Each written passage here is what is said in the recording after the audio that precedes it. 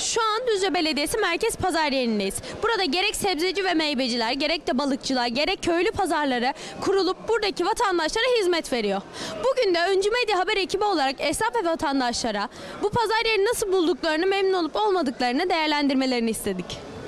Musa Sarı. Musa Bey, Faruk Özlü böyle bir pazar yeri yaptı.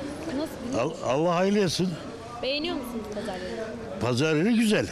Ama noksanları var. Tam bitmiş değil mesela. En azından su giderleri yok.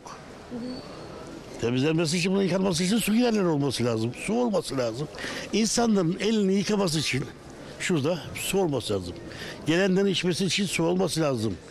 Tuvalet yapılmış ta alt tarafta üç göz. Yeterli değil. Nermin Bıçaklı. Ee, Nermin Hanım pazar yerini nasıl buluyorsunuz? Uygulamaları güzel misin? Çok güzel, çok güzel, memnunuz.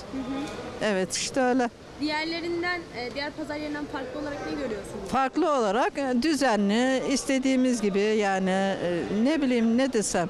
Çok güzel yani. İsmail Hakkı Geçken. İsmail Bey bu pazar yerini nasıl buluyorsunuz? Dört dörtlük pazar yeri. Yapandan Allah razı olsun. Artı olarak ne var diğer pazar yerinde? Nasıl artı olarak ne var? Yani diğer pazar yerine kıyasladığınızda Şuraya bak güzelliğine bak pazar yerini ya. Dört dörtlük pazar yeri. Faruk Özden Allah razı olsun.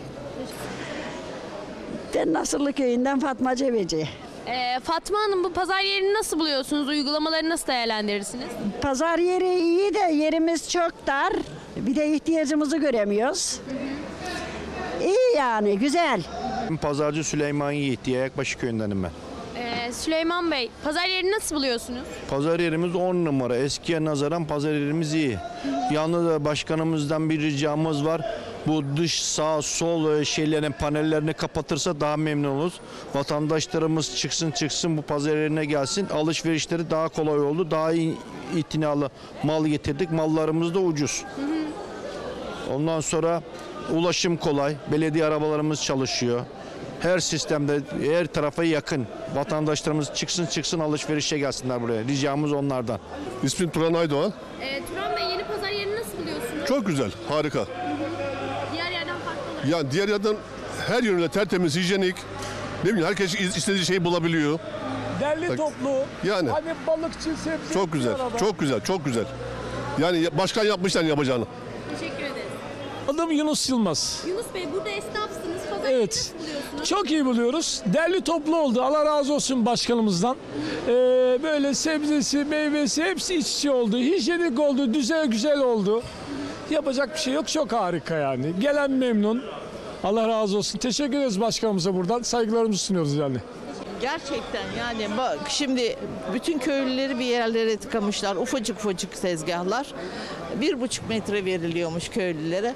Onlar çok zor. Bizim alışveriş ettiğimiz kimseler çok dağınık yerleştirilmiş. e, Kurayla çıktığı için. Ama insanlar nereden alışveriş edecek, nasıl alışveriş edecek onu bilemiyor. Bir de hayat pahalılığı var bunun içinde. Ona göre düşünün artık gerisini. Ama bu belediyenin birazcık daha şey yapması lazım, düzenli olması lazım. Şuralar açık bakın. Buralardan yağmur gelebilir, rüzgar gelebilir. Bunca insan hasta olabilir. Hepimiz aynı şeyleri yaşayacağız onun için. Düzceli vatandaş var. Düzceli vatandaşlar ve merkez pazar yeri esnafları pazar yerinden çok memnun olduklarını ve Faruk Özcü'ye teşekkür ettiklerini söyledi.